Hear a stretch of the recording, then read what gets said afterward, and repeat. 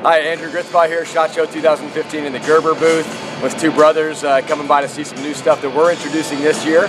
Very exciting uh, couple of products to talk to you about today. The first one here is the Gator Premium. This is a new product that'll be launching in May of 2015, and this is the latest addition in a long, iconic collection of hunting and sportsman knives from Gerber. So this Gator knife is the original. This is a 1991 Blade of the Year winner, and this iconic kind of gator skin style grip. You can find this on a number of great Gerber products. Awesome, robust grip, kind of rubberized, but really sticky in any conditions. To build onto this, we're introducing new premium gators this year. This is a very important story for us.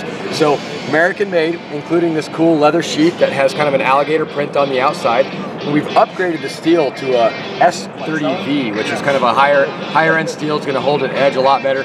It's also got kind of a semi-mirror polish on it. On the front side here, you have kind of a, a stainless steel pommel on the back and then the uh, choil up here. And that gives you really nice balance and weight when you're going through skinning and cutting. So what's awesome about this uh, as well is that they kind of build on the same tradition that people expected from the Gator. So what you see here on these handles, this is actually a prototype, but you'll see the same Gator grip you were used to on the other one. And whether you're using the Gator you've owned for 15 years or you're introducing this one to your collection, you're gonna have that same kind of unique Gator feel that you've known and loved from Gerber for so long. So really awesome introductions.